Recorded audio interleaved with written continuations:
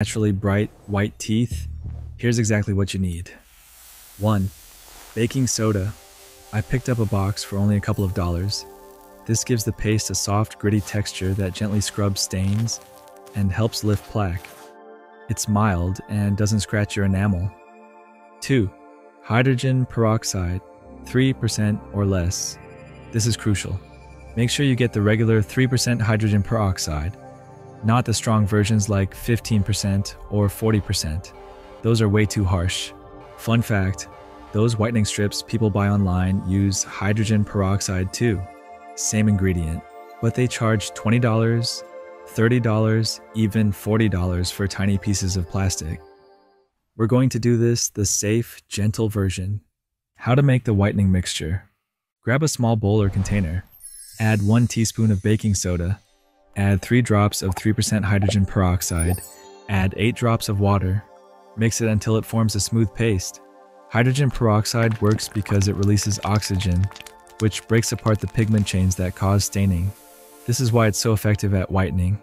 Now take your toothbrush and gently polish your teeth, front, back, and chewing surfaces for about 1 to 2 minutes. After you're done, rinse your mouth thoroughly. Because this mixture is mild, unlike the super strong dentist version, you'll need to repeat it. I recommend doing it two to three times a week for a few weeks. You're going to notice a huge difference, and when you do, come back and drop a comment.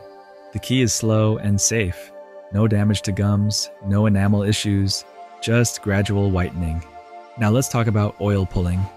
You've probably seen videos where people swish coconut oil in their mouth for a while. But what exactly does that do? Oil pulling is actually a very old practice. Traditionally, people used sesame oil, but coconut oil tastes better and works just as well. Coconut oil contains lauric acid, which is a natural antimicrobial. It helps fight bacteria, fungus, candida, and especially the microbes that cause bad breath. If you swish coconut oil in your mouth for 10 to 20 minutes, a few times a week, it can noticeably improve gum health. There's even research from the Indian Journal of Dental Research uh, showing it works as well as medicated mouthwash for reducing gingivitis.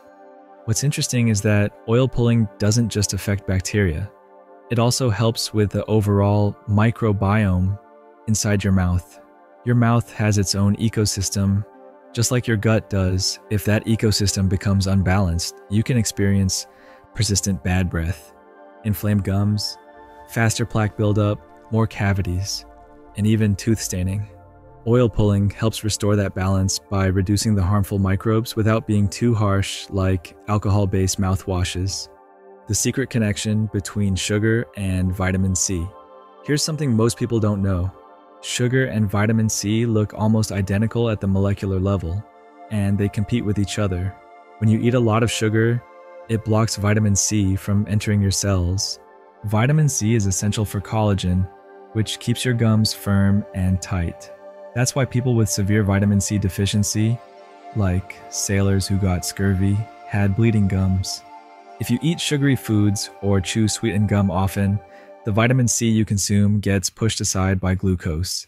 The first sign is usually bleeding when brushing, bleeding when flossing, gums that feel loose or puffy. This creates tiny gaps in your gum line, almost like leaky gut but in your mouth, allowing bacteria to enter your bloodstream. Scientists have even found oral bacteria inside artery plaque and in brain plaque in Alzheimer's patients.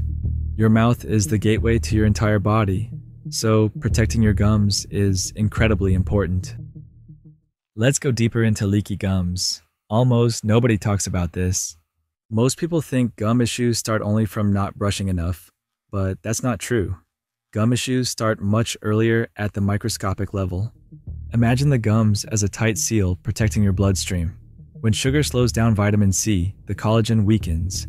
Weak collagen equals weak gum wall. Once the gum barrier opens up even slightly, bacteria can slip through. These microbes travel with your bloodstream and can trigger inflammation in distant organs.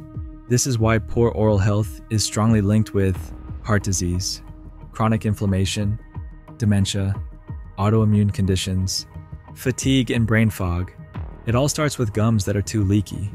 And here's another angle Every time you swallow, you're moving millions of bacteria across your gums. If your gum wall is strong, you're fine. If it's weak, those microbes can pass directly through. So when you're whitening your teeth, also think about strengthening your gums. And the two best things you can do are reduce sugar intake, increase vitamin C from fruits or supplements. Bonus tip clean your tongue. This is a small habit, but it makes a big difference. Most of the smell causing bacteria live on the back of your tongue. A tongue scraper removes food debris, sulfur producing bacteria, coating that causes bad breath. When you do tongue scraping along with the oil pulling and the whitening mixture, the results multiply dramatically. Another powerful add on brush with baking soda once a week. Not the whitening paste, just baking soda alone. Baking soda changes the pH of your mouth temporarily. A more alkaline mouth makes it harder for cavity causing bacteria to survive. It also helps prevent plaque from forming so quickly.